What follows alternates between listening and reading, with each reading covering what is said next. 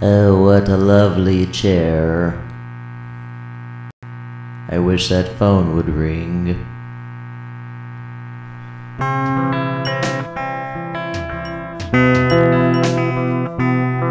Thank you.